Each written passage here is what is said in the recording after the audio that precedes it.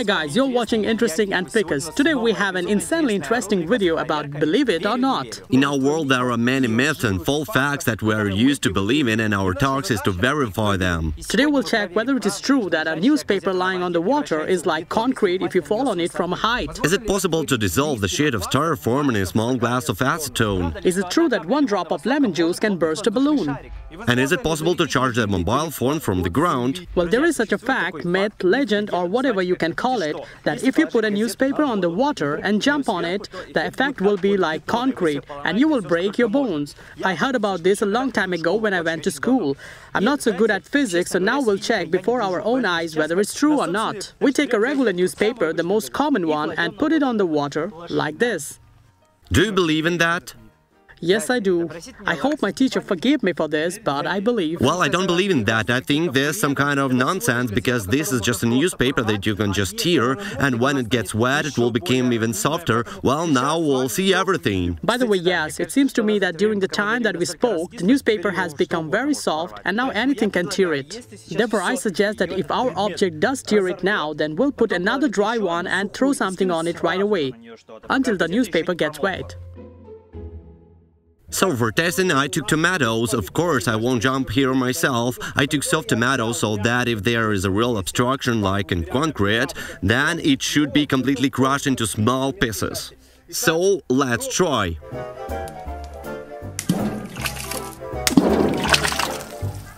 It torn. Our newspaper is completely torn, so now we'll conduct the same experiment but with a dry newspaper, at least not as wet as this one was.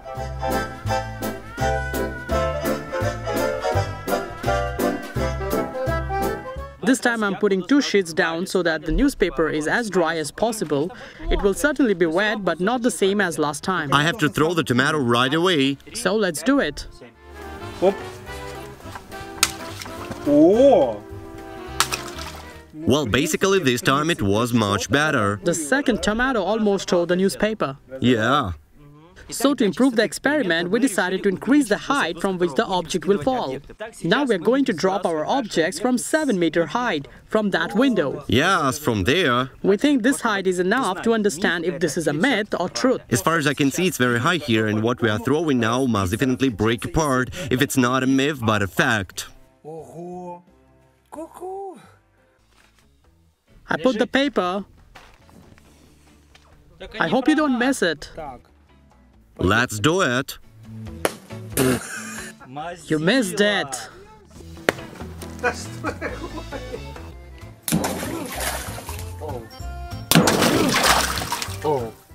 The tomato tore up the newspaper, but itself remained intact. It survived. We are 80 to 85% sure that this is a myth, but nevertheless we decided to try all the same, but this time with a light bulb. Now we'll try it from a height of 7 meter if Sergey doesn't miss it, because we have just two bulbs. The result is same. So after all the experiments, we come to the conclusion that this is a myth. Regardless of whether the newspaper is wet or not, one layer or two, and from what height you throw the objects, the newspaper doesn't become like concrete. Even the light bulb didn't break up. The next myth is that in this glass of acetone, you can dissolve a whole sheet of styrofoam. See how much of it. Now look at this volume of the glass. And look at Ficus' face. I believe in it 70%. Well, you write in the comments if you believe that it can dissolve in this glass. The first thing to do is drink it. Just kidding. You need to pour acetone into a glass. It shouldn't be drunk in any case. It's really dangerous. Should I pour it to full? A bit more? Yeah, it's enough. How? How to do it? I suppose that it needs to be broken down in order to put it in the glass. I don't know. Let's try it, right? Yes.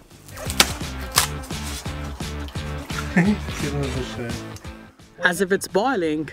Whoa. Interesting. Oh, wait, there even nothing floats on top, it just dissolves.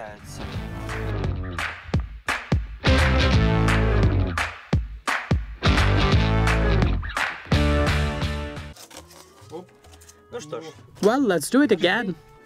Ну, Wow, this is amusing. It's kind of boiling. Прикол.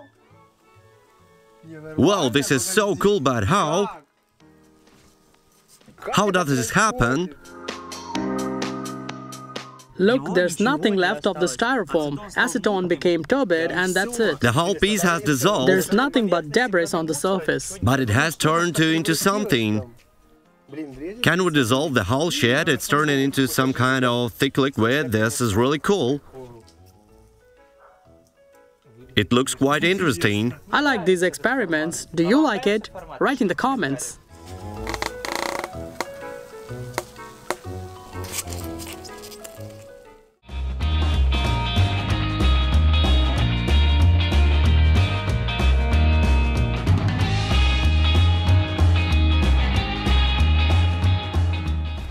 That's it. It doesn't dissolve anymore. So this is a myth. The acetone didn't even dissolve half of the styrofoam sheet.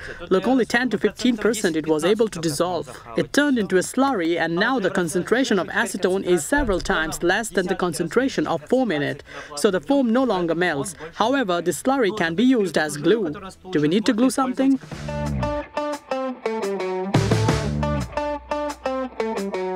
As you understand, this is a new experiment. It will check if the balloon can burst with just a drop of lemon juice. Just one drop of it and the balloon should burst. Do you guys believe it? Ficus, do you believe it? I absolutely don't believe in it. How can juice burst rubber? On the contrary, I believe a little in this because the lemon juice is called citric acid for a reason. Therefore, if it is acid and the rubber is thin, then the juice can pop it.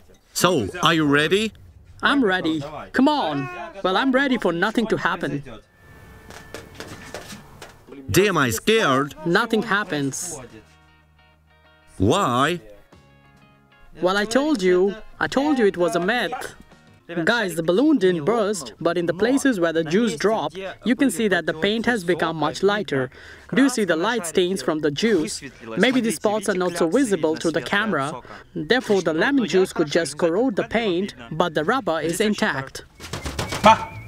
Don't scare me, I'm afraid of explosions. So, this is a myth. So the fourth, the most important and the most interesting task for today is whether it's possible to charge the phone from the ground. The essence of the myth is that you can just take some kind of two iron packs, wrap it with wire, pour it with a solution of soda and salt, and you can just charge the phone. Do you agree this is a nonsense? Well, now we'll check with this nonsense with Ficus. I took the pegging from the grid, it's ordinary iron packs. I'm curious if it makes difference into which ground to insert these iron packs. In sand or black soil? Yes. At first we decided to try using this copper wire, but it seems to me that nothing will work with it because it is thick and the current will go somewhere. We'll repeat the experiment with a thin wire with which probably it will be much more reliable and stronger. For our experiment, we even specially bought a phone because we thought it would be difficult to charge the, an iPhone as it has its own charging system. Now we need to cut off this completely new charger like this. In general, according to this myth, you need to connect plus and minus to these wires. I have no idea how it will be. We decided that we would first connect the phone and then pour the solution. As we understood, you just need to pour the solution in it. So far, no result. Generally, to no whale, maybe it's because of the big wire, I think so. We decided to take a thinner wire, which will fit more tightly to the iron pegs, hold on to them more tightly, and we'll repeat this experiment again.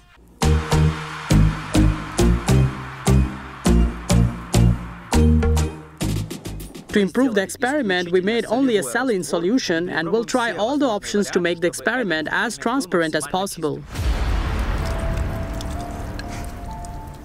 Come on, charge the phone.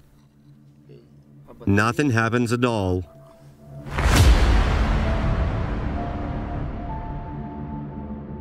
In general, we tried all the options, we didn't show you all of them. Well, we realized that this, from our point of view, is still a myth, because we don't know what else to try. Everywhere it was written that you need to do just like that, therefore we believe that this is a myth. So it turns out that all four myths have remained myths. All four experiments showed that these things do not work. Well, if you like this video, then hit the thumbs up and write in the comments what to check in the next video. Also, don't forget to subscribe to the channel and press the bell icon. It was interesting and Ficus with you. See you soon.